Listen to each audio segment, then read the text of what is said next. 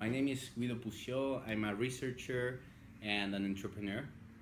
My background is in artificial intelligence applied to healthcare. I've been focused uh, for the last nine years in a particular field, which is developing cost-effective technologies for improving seniors' health. I started this line of work in France doing my PhD, and I continued that work at Stanford University in the United States.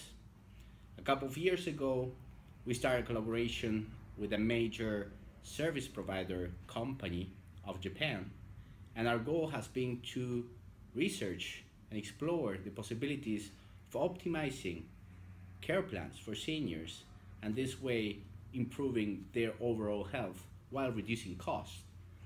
Today, we have started a company in the Silicon Valley whose mission is to leverage all the knowledge and effectively create the technology that will be used by the Japanese population to improve the health of their seniors. The name of our company is Activity Recognition. Uh, we have put together an interdisciplinary group of clinical experts and AI researchers with the objective of building an end-to-end solution that will allow to improve seniors' health and at the same time will support care managers to take better decisions.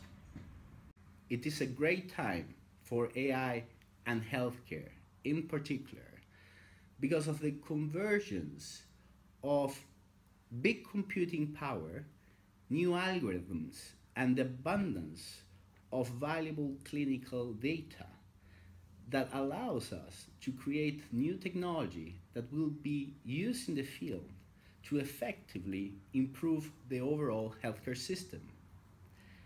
In our case, we have also unique technology constructed for this particular field, which is the consequence of several years of research and expertise in handling this type of data.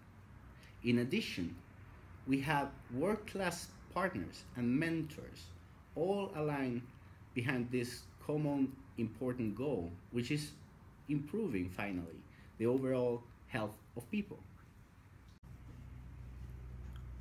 We are only at the beginning of this quest. Today, we will focus on generating better care plans for seniors. But in the future, we are going to also improve with new technology the way health variables are measured. And this way, we aim at optimizing the whole chain from health variables to better diagnostics and better diagnostics to better care plans. By doing this, it will allow us to be proactive. And by being proactive, we will be able to keep seniors living independently, safer, for much longer periods of time.